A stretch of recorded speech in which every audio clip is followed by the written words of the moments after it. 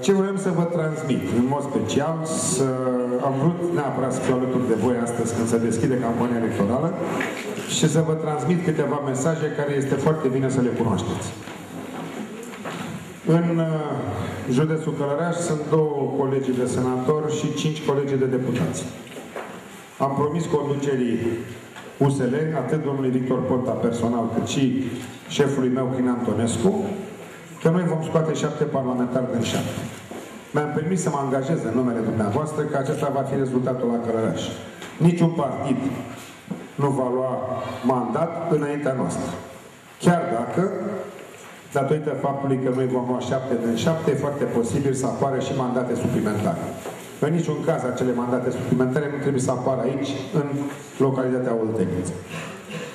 Ceea ce vă rog în numele meu personal și în numele USL-ului este să dăm curs acestei promisiuni pe care eu am făcut-o celor doi copreședinți. Să câștigăm toate mandatele.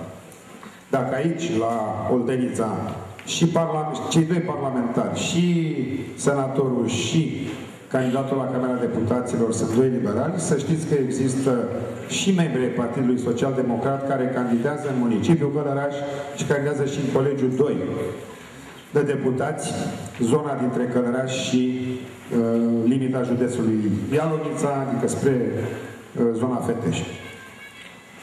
Eu m-am angajat în numele USL-ului în fața domnului Ponta că și cele două colegii ale PSD-ului vor fi câștigătoare mi-a surâs norocul că au venit din partea PSD-ului să candideze acolo două persoane remarcate.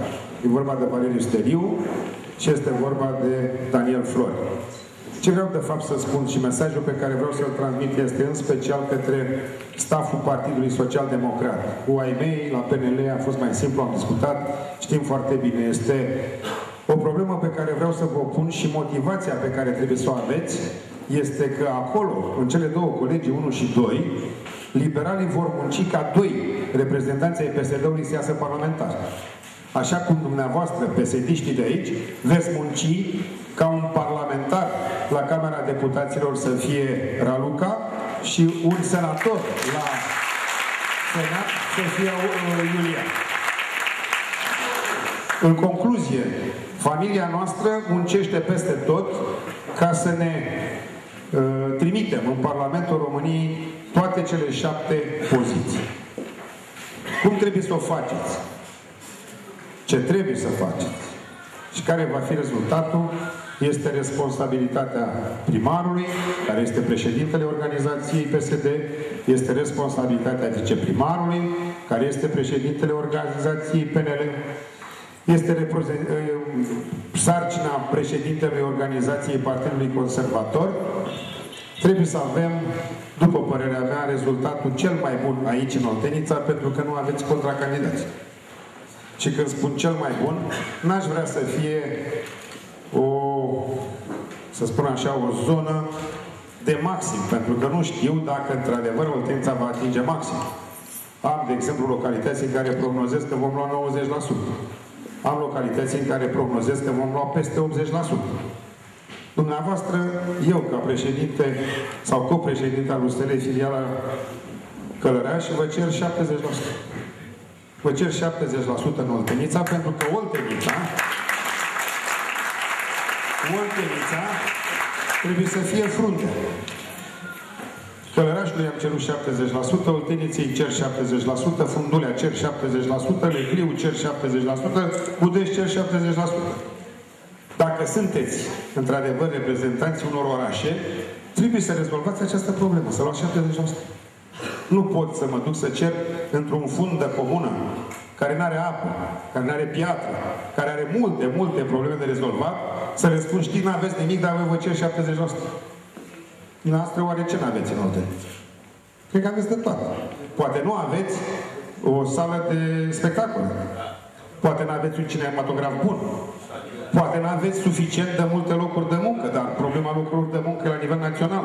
Și după cum ați văzut în programul USL, dacă ați fost atenți, se va face canalul Dunăre Marea Neagră. Da?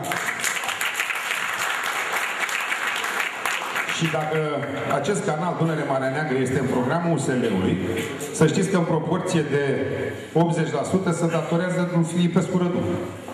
Știți de ce? Pentru că am promis odată acel canal și nu m-am ținut de cuvânt. Cu toate că ajunsesem corba al ministrului la transporturi și cu Tăricianu, prim-ministru, să alocăm 400 de milioane pentru începerea lucrărilor la canalul Dunăre Marea Neagră. Numai că a venit Piticania de la Cluj, urmată de securistul la SIE și n-a mai dat niciun leu, dar absolut niciun leu la acest canal. Știind, vorbesc de canalul Dunăre București.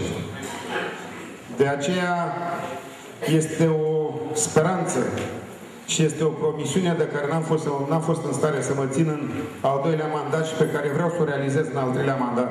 Deci acel canal sau acea investiție este pe lista Ministerului Transporturilor, pe lista Guvernului USL. Și vă promit că vă voi ține de ei până când aceste lucrări vor începe. Este o veste care ține de locurile de muncă. Acolo înseamnă 10.000 de oameni care vor lucra timp de 3 ani de zi. Zi de zi, pe salarii bune. Luați-o dacă vreți chiar și ca o promisiune. Atâta timp cât am reușit să o bag pe o listă, înseamnă că avem șansa să mergem cu ea cu investi investiție mai departe. Aș vrea să scurtez, să nu intru pe program de guvernare, că l-ați citit singuri. Din acel program de guvernare, acesta era obiectivul care vă interesa în mod special. Mă scuzați. Aș vrea să mă limitez la a vă cere sprijin. În alegerile locale am demonstrat că USL-ul poate să funcționeze foarte bine și la Olteniță. Cred că după alegerile locale și după referendum, care, după părerea mea, a fost cel mai mare succes al USL-ului, acest referendum, unde am avut niște cifre absolut senzaționale, ne așteaptă această bătălie pe care sunt convins că o veți câștiga cu peste 70%. Vreau să-mi faceți mie, ca și conducător al USL-ului sau co-președinte, o mare surpriză.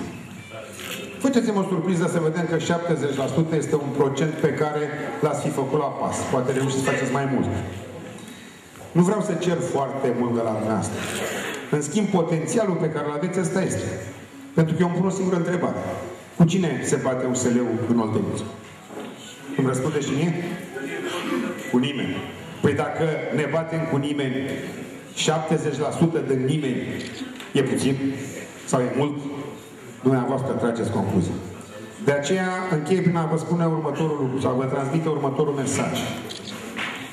Eu am promis conducerii că vom fi foarte puternici, dumneavoastră îmi promiteți mie că veți fi foarte puternici și eu vă promit vouă că timp de patru ani de zile Oltenița va fi pe primul plan la nivelul județului Călăraș. Vă mulțumesc și spor la treabă!